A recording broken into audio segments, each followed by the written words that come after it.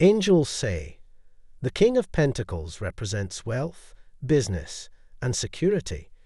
He has achieved the highest level of material success and is proud of his achievements.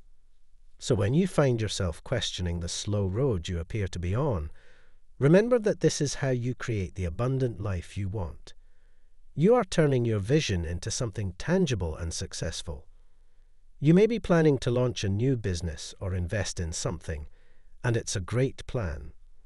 Things feel like a struggle now. That's okay. But remember, this won't always be the case. Before you know it, money will begin to flow easily and you'll achieve what you desire effortlessly. Keep going. Surrendering is a powerful action in the twin flame connection and something that many twin flames find difficult. The reason it is so powerful in this journey is that it completely frees you, frees you from suffering, from not being able to live in your truth, releasing control over things in your life that are outside of you. It changes the way you see and experience this connection as you are able to switch from thinking to trusting. It tells the universe that you trust in the divine timing, that you have hope and believe in this connection. Love is the only end. It could never really leave. You see the truth to all, knowing that you have all you need within you, allowing the growth and healing to take place, coming back to love, creating the space for your twin flame to come back into your life. Surrender, have faith, and watch everything unfold for you. Divine Feminine, you may be waking up with headaches and feeling dehydrated.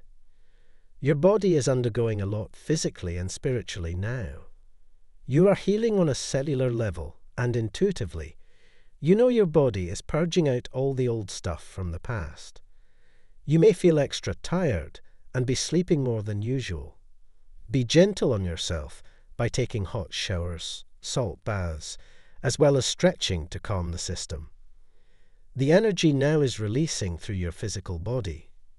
You are getting ready to make a quantum leap to catch up to what your soul already knows is true. You may feel like you desire alone time to just let go.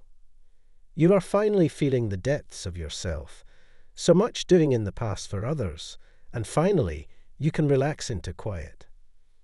This may feel strange because you have been used to a lot of chaos around you. Being alone is something you may have been asking for, and now that it has come, it may take time for you to sit in the silence and allow your system to relax. A lot of you have been manifesting in the material realm, but without realizing it, you are neglecting your own needs, your true heart's desire. The magician suggests you try not to become or build toxic energy within yourself just because you want to achieve something in the material realm so bad. You have everything you need on the table, and you have everything you can offer. However, I sense a lack of self-confidence when it comes to taking action. Type yes if you believe in God.